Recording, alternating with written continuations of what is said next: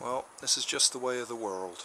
I've been out for a cup of coffee, it's been beautiful sunshine, we've had a nice meal, we've come home and the sun's gone in. Got this nice little track set out so we can demonstrate the solar powered cars in the bright sunshine and it's gone.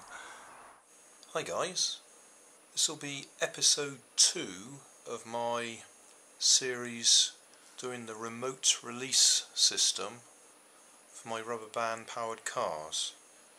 In the previous episode I rigged it up so I can use this momentary push switch to release the car. And what I'm going to do now is change that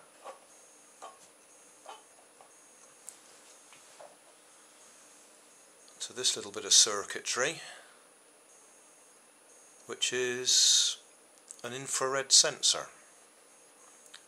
So I've got a relay on there that will take the place of the momentary switch and then we operate it by infrared. So I'll just swap that over. Right, I've rigged it up.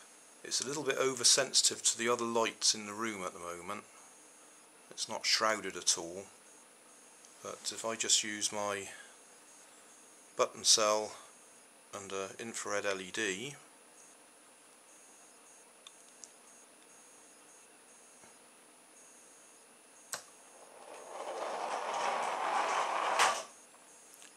there we go. I'll just see if I can get that in camera this time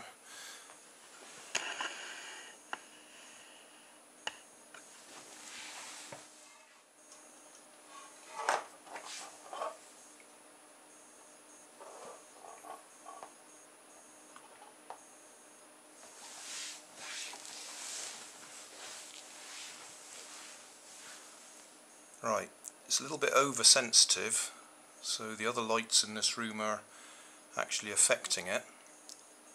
So I've got a little shroud over the top of it. And the very technical method I'm going to use to switch it on, I've got an infrared LED and a button cell. So if I just connect it the right way round,